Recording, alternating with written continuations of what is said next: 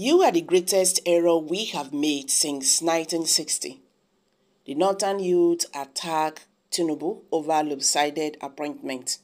Well, may them take am easy. Because this is what APC have done to Nigeria. And they should not also forget that it was not Tinubu that started it. Yes, this was not started by Tinubu. What is on ground now is just like e be like say we no understand before say this nigeria is one they just dey use am no the scammers because wetin apc don do now if you are from the north eh a president coming from the north all the all the positions everything will go to the north. Now they don come back now. Tinubu is from the southwest. And now he has you know taking all the positions to, you know, to the Southwesterners. And this is how he's going to build. We are even thinking that what uh, what, what the former President Bola Ahmed, uh, please pardon me, Muhammad Buhari did, that Tinubu is going to change it, you know. When somebody do something not right, you will correct it by doing the correct thing then by then the person the person conscience go dey judge am oh i did not really do bad uh, do well. But with what tinubu is doing this is even what the former president did na child's play. Anyway make we even hear why they are complaining and what they are complaining of. Welcome back to prospect channel tv if you're just joining us please kindly subscribe to this channel and don't forget to give us a thumbs up. Thank you The Northern Youth Leaders Forum (NYLF) has accused President Bola Tinubu of favoring the southern part of the country over the north in his appointment. Addressing journalists in Abeokuta, the national president of NYLF, Elliot Afiyo, said President Tinubu had carried out the most lopsided appointment since Nigeria gained independence in 1960.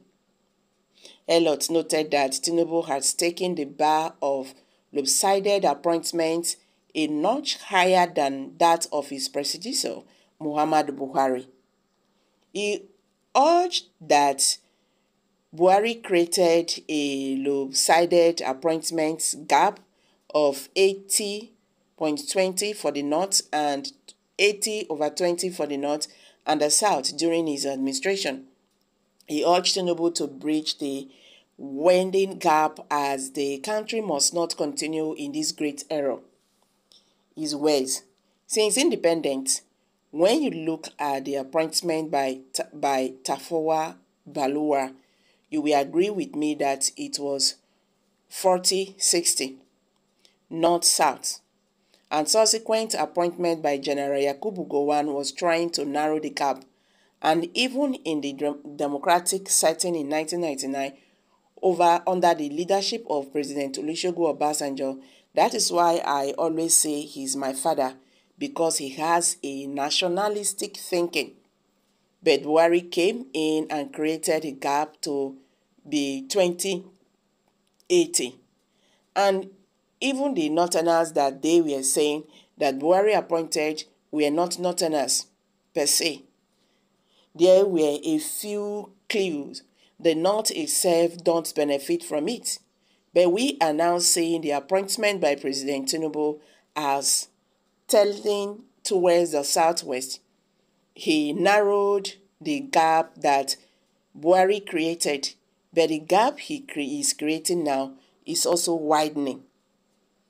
I would say Northerners don't have the right to complain that the appointment or placement are lopsided. We don't have the right to complain. But as an advanced citizens, I ask, can we continue like this?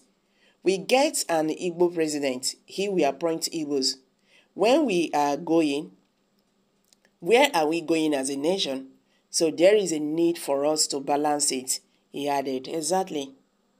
He just said the truth. You, you understand? He just said the truth. Where are we going as a nation? Where are we going? So if we have, because Buhari did it, then Tinubu should do it.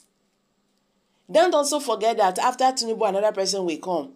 And you will still expect that person to do what Tinubu did. That means Nigeria don't finish with that.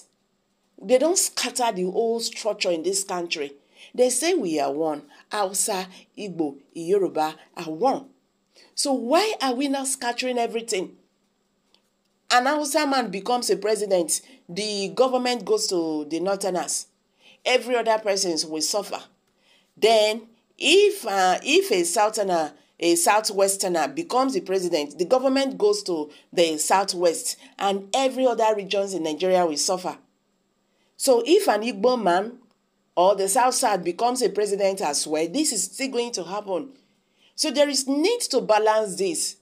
There is no need to insult him or whatever. He, he agreed that Buhari did that. You understand? Buhari did that. Buhari started it. You see, Tinubu is not lying. You understand? He said that he's going to start from where his presidential stop. He said it, and Nigerians held it. He not talk am one, he not talk am. He dey talk am. He dey talk am every other time. He said it.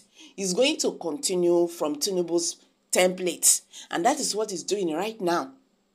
So Nigerians should be, you know, this should not be a kind of shocking, but though we had expected him, because what he said, he even said it that nothing is no nepotism.